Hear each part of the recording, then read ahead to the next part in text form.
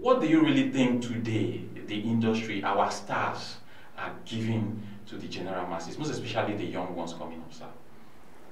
The stars, to the extent I have followed uh, many of them up, is uh, they are living fake lives. The life um, of addiction. They don't think from their, or they don't think or act based on their natural wisdom, strength. They, they act, they, they tend to act um, as someone under influence of either alcohol or drug.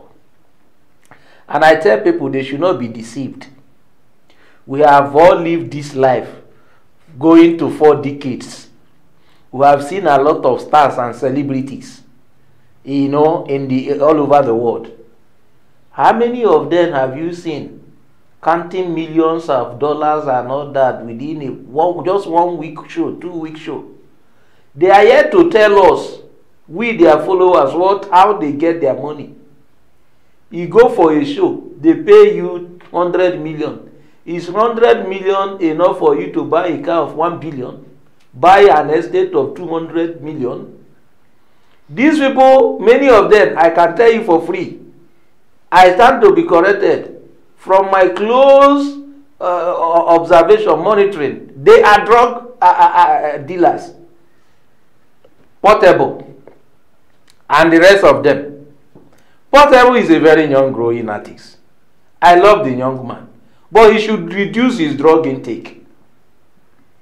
What transpired between him and a boy you fed, a boy you raised, a boy that should be proud of you tomorrow? Those things are not necessary. But because he felt that he has never tested poverty, because he felt that all he has were all his own personal strength and wisdom, these boys all supported him, played one, run one errand or the other for him to become who he is today. The way he treated the young man is even others.